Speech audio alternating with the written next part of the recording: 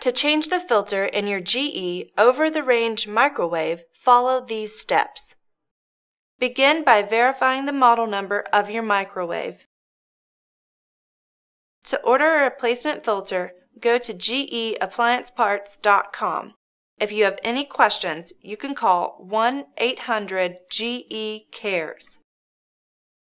The first step in changing the filter is to unscrew the two screws above with a Phillips screwdriver. Make sure you keep track of these, they will need to be put back in afterwards. If the unit was improperly installed, the cabinetry above the unit may hide these screws. The unit will need to be uninstalled to have access to the screws. Next, remove the grill by sliding it about 3 eighths of an inch to the left and then pull it forward.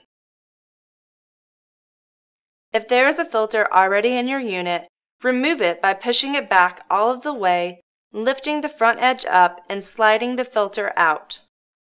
Insert the new filter. Push the filter all the way back with the edge of the filter hitting the back two tabs.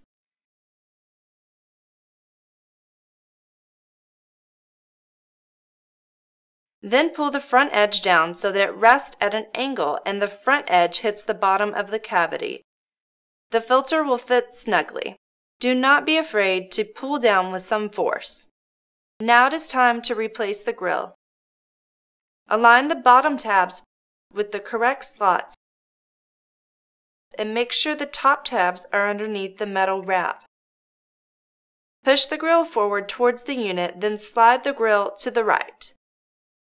Replace the two screws and you will have successfully changed the charcoal filter. When reinstalling the screws, use a hand screwdriver only and tighten just until snug. Checklist. Verify the microwave model number. The grill slides to the left to remove. Change the filter and make sure it is fully inserted. Reinstall the grill. Make sure the tabs are in the appropriate places and replace the screws.